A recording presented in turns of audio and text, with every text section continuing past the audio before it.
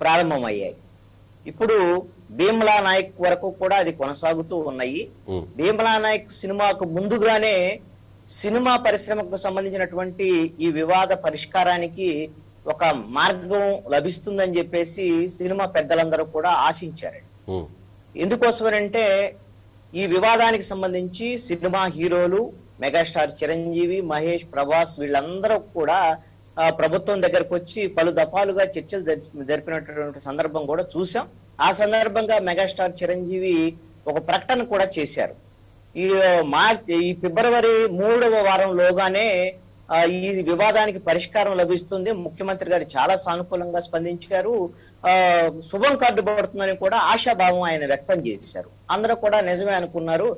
ఎట్లాగూ ముఖ్యమంత్రి గారికి సినిమా వాళ్ళు ఆయన పట్టించుకోవటం లేదని ఆయన గెలిచిన తర్వాత ఆయనకు సన్మానం చేయలేదని.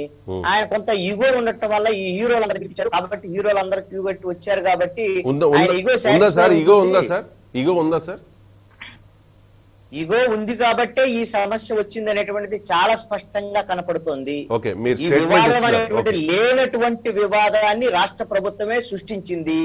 సృష్టించి దాన్ని పరిష్కరించుతున్నట్టుగా కూడా వాళ్ళే ఒక ఈ రోజున పోజు పెడుతున్నటువంటి పరిస్థితి ఉంది. ఈ విషయాన్ని నరసాపురం సభలో పవన్ కళ్యాణ్ గారు చాలా స్పష్టంగా వెల్లడించారని ఆయన మొహాట పడలేదు. రాష్ట్ర ప్రభుత్వము లేనటువంటి వివాదాన్ని సృష్టించి ఎవరెవరినో వాళ్ళ పెద్ద పెద్ద ఉండేటువంటి దాంట్లో ఉండేటువంటి వాళ్ళందరూ వచ్చి తన ముందు వచ్చి మోకరిల్లి దండాలు పెడితే ఈ రోజున పైచాచిక ఆనందం పొందేటువంటి పరిస్థితి రాష్ట్ర ప్రభుత్వం దగ్గర ఉంది. ఇది రాజకీయ నాయకులకు ఉండొచ్చు కానీ ప్రభుత్వాలుగా ఎన్నికైనటువంటి వాళ్ళకి ముఖ్యమంత్రి గారికి ఇలా ఉండకూడదని ఇది మంచిది కూడా కాదు. అయితే ఈ విధమైనటువంటి వివాద పరిష్కారం లభిస్తుందని అందరూ ఆశిస్తే మరి ఆ విధమైనటువంటి పరిష్కారం లభించలేదు శుభం కార్డు కూడా పడలేదు. దీనికి కారణం ఏమిటంటే ఇరవై ఐదో తేదీన Bheemla Nayak cinema release date ప్రకటించారు కాబట్టి. ఈ భీమలా నాయక్ సినిమాకు ముందు ఈ మొత్తం సమస్య పరిష్కారం అయిపోతే సినిమా రిలీజ్ అవుతుంది అందరికి కూడా అందుబాటులో వస్తుంది అనేటువంటి దాని మీద ఎట్టి పరిస్థితుల్లో ఈ సినిమాకి అవసరం ఏదైతే ఈ మొత్తము ఆ కలెక్షన్స్ తగ్గించాలి అదే విధంగా ఈ సినిమాకి సంబంధించినటువంటి థియేటర్ల వాళ్ళ మీద ఈ విధమైన కండిషన్స్ పెట్టాలి అదనపు షోలు లేకుండా కలెక్షన్స్ తగ్గితే పవన్ కళ్యాణ్ గారికి ఆయన రెమ్యునరేషన్ ఆయన తీసుకుంటున్నారు కదా? ఇక్కడ ఒకటి అండి. పవన్ కళ్యాణ్ గారికి ఈ విధమైనటువంటి ప్రభుత్వ కక్ష సాధింపు వల్ల.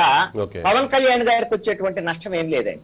ఆయన నటించారు నటించినందుకు ఆయన రెమ్యునరేషన్ తీసుకున్నారు అయిపోయింది. ఇప్పుడు నిర్మాతలు సినిమా తీసుకున్నారు నిర్మాతలు ఈ సినిమా నమ్ముకున్నారు డిస్ట్రిబ్యూటర్స్ ఇక్కడ సమస్య అంతా ఎవరిది ఎవరైతే ఈ సినిమా థియేటర్లో ప్రదర్శిస్తారో ఈ సినిమాని పంపిణీదారులు ఎవరైతే ఉన్నారో అదే విధంగా ఈ సినిమా చూసేటువంటి వాళ్ళు ఎవరు ఉన్నారో సినిమా లవర్స్ ఉంటారు ఈరోజు. వీళ్ళందరికీ ఈ రోజున సమస్యేనండి. ఓన్లీ ప్రభుత్వానికి ఏమన్నా అదనంగా వస్తుందంటే ప్రభుత్వానికి అదనంగా వచ్చేటువంటి అంశం కాదు. ఇది రాజకీయంగా పవన్ కళ్యాణ్ గారు జనసేన పార్టీ నాయకుడు కాబట్టి సినిమాల్లో కూడా ఆయన సినిమాని ఈ విధంగా అడ్డుకునేటువంటి ప్రయత్నం ద్వారా- ద్వారాగా కొంత ఈ విధమైనటువంటి మరి ఏం ఆనందం అనాలో దీన్ని నాకు అర్థం కావట్లేదు. ఎందుకోసమనంటే నిజంగా మీరు చెప్తున్నట్టుగా ఒక మీరు అన్న పదాలు నేను వాడుతున్నా మళ్ళీ. పైశాచిక ఆనందం అని మీరు అన్నారు కదా అలాంటి ఆనందం పొందాలి అని అనుకుంటే రాజకీయంగా పవన్ కళ్యాణ్ ఇబ్బంది పెట్టాలని జగన్ సర్కార్ ప్రయత్నం చేస్తుంటే అది అల్టిమేట్గా పవన్ కళ్యాణ్కే లాభం చేకూర్చే అంశం కదా? సింపతి పెరుగుద్ది కదా జనాలు? రెండు రెండు కీలకమైనటువంటి అంశాలు ఉన్నాయి దీంట్లో రవిశంకర్ గారు. ఒకటేమో పవన్ కళ్యాణ్ గారి సినిమాకి ఈ విధమైనటువంటి నిబంధనలు పెట్టడం ద్వారాగా ఈ సినిమా వచ్చేటువంటి కలెక్షన్లు దాని విజయాన్ని కొంత అడ్డుకోవాలనేటువంటి ప్రయత్నం ఒకటే. ఏం లేదు పవన్ కళ్యాణ్ గారు అంత పెద్ద ఇది కాదు ఆయన సినిమా అంత ఆడినటువంటి పరిస్థితి లేదు అనేటువంటిది చెప్పేటువంటిది ఒకటి. ఇక్కడ రెండవ కీలకమైనటువంటి అంశం కూడా ఉందండి. ఈ అంశాన్ని ఈ విధంగా చేయటం ద్వారాగా అధికారంలో ఉన్నటువంటి వైఎస్ఆర్ కాంగ్రెస్ పార్టీ ఆంధ్రప్రదేశ్లో ఒక డైవర్ట్ పాలిటిక్స్ కూడా తెరలేపిందండి. మొత్తం వివాదం అంతా సినిమాకు సంబంధించినటువంటి వకీల్ సాబ్ సినిమా ఈ రోజున ప్రభుత్వం అడ్డుకోవటం వల్ల.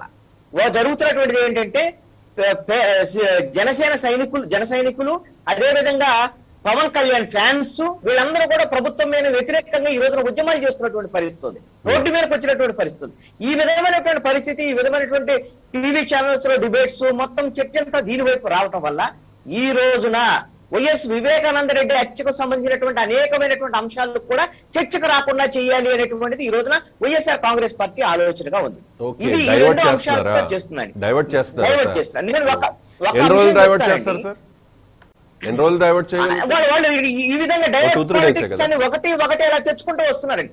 అసలు సినిమా వివాదాన్ని కూడా సినిమా వివాదాన్ని కూడా ఈ డైవర్ట్ పాలిటిక్స్లో భాగంగానే తెచ్చారండి. ఇన్ని రోజులు ఆ హీరోలు రావటం పోవటం ఈ చర్చలు జరగటం ఇవన్నీ కూడా మొత్తం ఒక డ్రామా లాంటిది మాత్రమే. ఇది డైవర్ట్ పాలిటిక్స్ మాత్రమే. నేను ఒకటి చెప్తాను. పవన్ కళ్యాణ్ సినిమాకు సంబంధించి భీమలా నాయక్ సంబంధించి ఈ రోజున ప్రభుత్వం కక్ష సాధింపుకు పాల్పడుతుంది అనటానికి అనేకమైనటువంటి ఆధారాలు ఉన్నాయి. ఏదో ఊరికే మాట్లాడటం లేదు. సినిమా ఫ్యాన్స్ వాళ్ళు కానీ జన సైనికులు కానీ ఊరికే మాట్లాడటం. ఈ రోజున గ్రా ఏదైతే రే ఆర్ఐ దగ్గర నుంచి రెవెన్యూ అధికారి దగ్గర నుంచి ఎంఆర్ఓ వరకు అదే విధంగా జాయింట్ కలెక్టర్ నుంచి కలెక్టర్ వరకు అందరూ కూడా ఈ రోజున సినిమా థియేటర్లకి వెళ్ళి లేకపోతే సినిమా థియేటర్లు వాళ్ళని పిలిపించి సినిమా థియేటర్లు వాళ్ళకి నోటీసులు ఇచ్చి మీరు భీమ్లా నాయక్ సినిమా రేపు రిలీజ్ కాబోతుంది. మీరు గనే ఎట్టి పరిస్థితుల్లో అదనపు షోలు వేయకూడదు.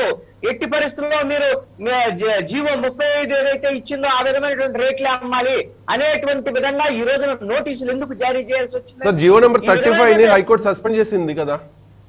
చేసింది కదా? సస్పెండ్ చేసింది. దాన్ని అమలు చేయడానికి వీల్లేదని చెప్పింది. సింగిల్ జడ్జి ఆ విధమైనటువంటి ఆదేశాలు జారీ చేశారు. ఆ తర్వాత హోమ్ సెక్రటరీ ఈ విధమైనటువంటిది కేవలము కోర్టుకు వెళ్ళినటువంటి వాళ్ళకి మాత్రమే వర్తిస్తుందని ఆయన స్టేట్మెంట్ ఇచ్చిన తర్వాత Hmm. దానికి సంబంధించినటువంటి డివిజన్ బెంచ్ కూడా ఆ విధమైన అందరికీ వర్తిస్తుంది. ఇది సస్పెన్షన్లోనే ఉంది అనేటువంటి కోర్టు స్పష్టంగా చెప్పినటువంటి మరి ఇది అంశం. కంటెంప్ట్ ఆఫ్ కోర్టు కోర్ట్ అవుతుంది suspend కదా? చేసినటువంటి మరి జీవోని కంటెంప్ట్ ఆఫ్ కోర్ట్ అవుతుంది కదా సార్? ఖచ్చితంగా అవుతుందండి. దానిపైన ఈ ఎవరైతే పిటిషనర్స్ ఉన్నారో వాళ్ళు ఈ విధమైనటువంటి అంశాలు ఎంఆర్ఓలు ఇచ్చినటువంటి నోటీసులు కోర్టు దృష్టికి తీసుకెళ్తే ఖచ్చితంగా కంటెంప్ట్ ఆఫ్ కోర్టు అయ్యేటువంటి అవకాశం ఉంది. Right. ఇది నేను ఒకటే చెప్పదలుచుకున్నాను. నిజంగా ఈ విధమైనటువంటి అధి- అధికారాలు ఇవన్నీ కూడా ఎంఆర్ఓలకి జాయింట్ కలెక్టర్లకు అందరికి ఉన్నాయండి. మీరు ప్రత్యేకంగా నోటీసులు ఇచ్చి బెదిరించాల్సినటువంటి అవసరం ఏమిటి? ప్రత్యేకంగా మీరు థియేటర్లకు వెళ్ళి ఎప్పుడు లేనటువంటి విధంగా మీరు బాత్రూములు చెక్ చేసి మీరు నీళ్ళు పోసారా? కలరా ఉండలు వేశారా?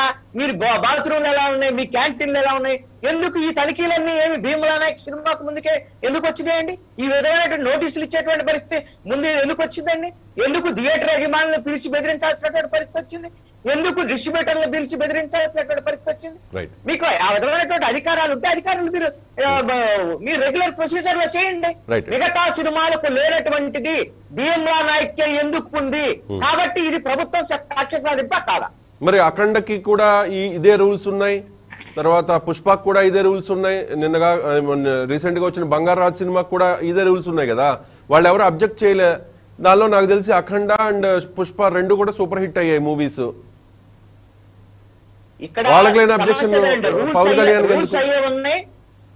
రవిశంకర్ గారు రూల్స్ అయ్యే ఉన్నాయి. ప్రభుత్వం ఇదే ఉంది. కానీ ఆ సినిమాలకి బెనిఫిట్ షోలు వేసుకోవటానికి అదే విధంగా రేట్లు పెంచి అమ్ముకోవటానికి వాళ్ళకి కావాల్సినటువంటి చూసి చూడనట్లుగా ఇదే. అధికారులు వెళ్ళినటువంటి పరిస్థితి ఉంది.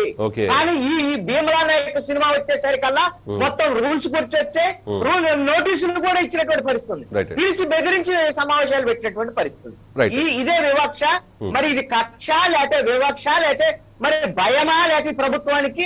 మరి పైశాచిక ఆనందం అని అసలు ఏమిటి అనేటువంటిది వాళ్ళే చెప్పాలండి. రైట్ అడుగుదామండి. కక్ష లేకపోతే వివక్ష భయమా ఆందోళన లేకపోతే పైశాచిక ఆనందమా? ఇది అడుగుతున్నారు సుందరరామ్ శర్మ గారు వైఎస్ఆర్ కాంగ్రెస్ పార్టీ అధికార ప్రతినిధి మనతో జాయిన్ అయ్యారు. సుందరరామ్ శర్మ గారు ఏం చెప్పదలుచుకున్నారు? మీ చర్యల్ని మీ ప్రభుత్వ చర్యల్ని ఏ రకంగా సమర్థించుకోదలుచుకున్నారు? సినిమా వేరు రాజకీయం వేరు. ఎన్నికలు ఉన్నప్పుడే రాజకీయం చేయాలి. ఎంత భావ వైరుధ్యం ఉన్నా రాజకీయ విమర్శలు చేసుకున్నా రాజకీయ శత్రుత్వం ఉన్నా అది రాజకీయాలకే పరిమితం చేయాలి కానీ కళలకు సంస్కృతికి ఆపాదించవద్దు. ఇది పవన్ కళ్యాణ్ గారు చెప్పిన మాట. సో మీ చర్యలు ఏ రకంగా సమర్థించుకుంటారు?